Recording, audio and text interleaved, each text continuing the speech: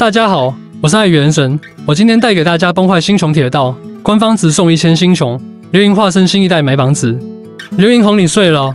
崩坏星穹铁道二点三流萤特效又有缺陷，过度宣传导致流水不佳，飞霄进卡池时间确定，最佳队友出炉。随着二点三版本的逼近，刘莹这位角色的相关活动也是逐渐的被官方爆料出来。这几天，官方爆料了一个非常有趣的活动。大家都知道，老米是一直有着靠电话来维持游戏热度的活动的。从六点一二开始，往后三天，玩家都可以拨打电话和刘莹进行通讯。据已经体验过的开拓者透露，这次的活动建议在晚上拨打，因为刘莹会带着你数星星，并且和各位开拓者说晚安。不得不说，这是一个挺有意思的活动，想要参加的各位开拓者可以尝试一下。然后就是有关下的版本即将上线的末日幻影的消息。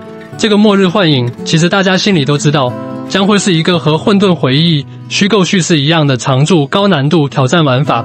不过这次的活动首次通关之后，会送给大家一个自述橙汁和三百星穹，加上版本更新赠送的六百星穹，一千星穹基本上是手拿把掐了。大家可以等到上线之后自己尝试一下。再就是有舅舅爆料了本次末日幻影的增益 buff，大家可以看一下，肩防守备。首领幻影受到的伤害降低百分之五十点零，弱点击破后行动额外延后，受到的伤害提高百分之一百点零。阵地转移，杰帕德会加入战斗，并为首领幻影提供保护。首领幻影会将自身弱点属性转移给召唤物，但当召唤物被消灭时，自身韧性值受到额外削减。转移将弱点属性转移给目标，弱点属性会在目标被消灭后返回。并造成额外韧性值削减，逃无可逃。首领幻影的召唤物会标记一个我方单位，首领幻影释放弹弓技能后，会对被标记的我方单位追加释放、追加释放。在释放弹弓技能后，会重新选择目标，并再次使用该技能。基恩认知制，敌方全体受到的伤害降低百分之二十点零，但每拥有一个弱点属性，受到的伤害提高百分之五点零。官方又来为流萤预热了，发布了走进星穹 PV，其实就是介绍流萤的技能组。与其说是宣传，不如说是当时前瞻的补充。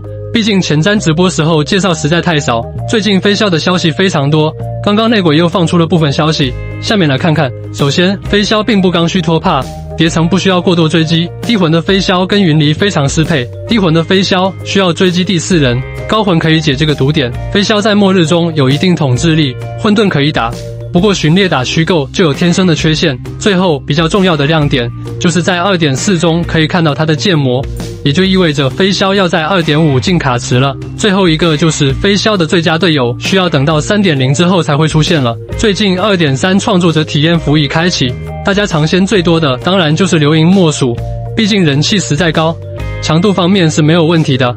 零加一或者一加零都可以玩，只是特效方面不太让人满意。除了大头像特效有概率出现问题之外，在体验服里面有网友测试中发现，铺满的血条和韧性条把流萤大头像特效覆盖了。好家伙，直接让人无感了。对于这个问题，玩家也反馈给了客服，客服已经承诺正式服会进行修复。其实说流萤被官方过度宣传一点都不为过，从一开始出场就强加 ML 身份。实在让人无感。诚然，流萤的背景的确塑造的相当优秀，几个版本的剧情铺垫也是下足了功夫，是要把流萤打造成最高人气角色。不过打铁还需自身硬，流萤始终还是游戏角色，强度方面根本不符合自身定位，而一次次的特效缺陷和不听从玩家建议，就算再多的宣传和塑造也无法拉高流水。反观二点零守卫大 C 黄泉，一路加强，特效拉满，配合几个恰到好处的 PV，把关注度提到。